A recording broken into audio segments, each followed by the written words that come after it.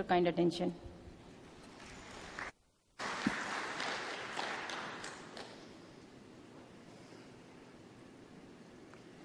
The next speaker is Dr. Edward White. Okay, thank you again, Mr. Chairman. Uh, I'd like to present a uh, paper titled uh, Fungation in Soft Tissue Sarcoma, a review of its significance. Uh, and I'd, th- like to thank my co-authors here from the University of the Philippines.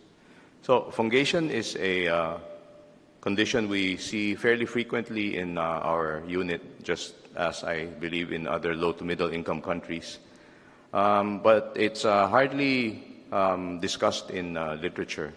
With uh, fungation, when the patient presents to us with ulceration, we usually already associate it with a higher rate of local recurrence and automatically give a stamp on, of a poorer prognosis on it. And therefore, with that perspective, we treat it with amputation or with the perspective of palliation rather than cure. But are we justified to do that? What does the literature tell us? Fungation is hardly discussed in the, in the English literature. Are only two major articles, one in 2009 from the University of Miami and one in 2017 from Birmingham. And when we did a critical review of these two articles, uh, we discovered that these studies included patients with uh, possibly many confounding variables. All anatomic sites were included, including trunk, uh, pelvis, extremities, all ages included. And in one study, both M0 and M1 patients were included. And in one study, also both low and high grade sarcomas were included. Uh, both studies found fungation and metastases to be poor prognosticators. So we presented a similar study at uh, the ISOLS 2017 in Kanazawa. Uh, but after having reviewed these uh, two articles and realized that there were confounding variables also that we had ourselves included in that original population, uh, we reviewed that study and uh, now uh, included stricter inclusion and ex- exclusion criteria. So we, we try to remove as many patients as possible with these possible confounders. So the question remained in patients who present with fungating or ulcerating soft tissue sarcomas of the extremities, what are the results of treatment in comparison with those who don't present with fungating lesions in terms of the oncologic outcomes of local recurrence, systemic recurrence, and mortality? So we included only adult patients more than 18 years old, only high-grade lesions, only extremity lesions, only patients who presented initially without metastases, patients who had received complete treatment by our unit and who had a follow-up of at least two years or until death. And we excluded all recurrent lesions, all those who had prior treatment, and uh, the following histologies. So we looked at the patient and tumor variables, we looked at the treatment variables, and we looked at oncologic outcomes. So from an original of 100 patients, because of the strict criteria, we were reduced to 50 patients, 10 in the fungating group and 39 in the non-fungating group.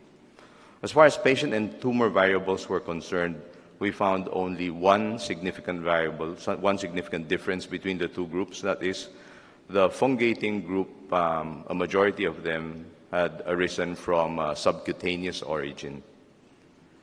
In terms of treatment variables, the type of surgery, we had more amputations for the fungating group as opposed to the non-fungating group. And I think this is mainly because of the lower threshold we had for amputations for this group of patients. Uh, adequacy of margin was the same, but the adjuvant treatment given for obvious reasons, was higher in the group uh, who had the more limb salvage surgeries. Now, in terms of uh, oncologic outcomes, there were no difference. There was no difference in, in terms of local recurrence.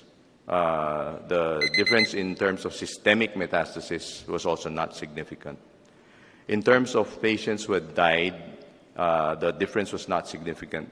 But when we looked at only those patients who had uh, cancer deaths. We had a trend towards a higher incidence in the fungating group, although this again was not significant. It, was, it approached significance at 0.09, but it was not significant.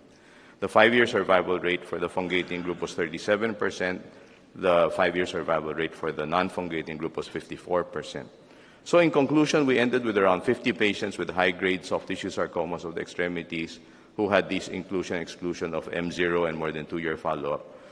The soft tissue sarcomas with fungation uh, were more likely to be from a subcutaneous location. In our unit, they were more prone to be amputated, less often given radiotherapy. There was no difference in local recurrence. There was a trend to higher systemic recurrence, but this was not significant. More patients had died of disease, but again, this was, did not um, reach significance at 0.05. And the overall survival difference was 37 versus 54 percent uh, in the two groups.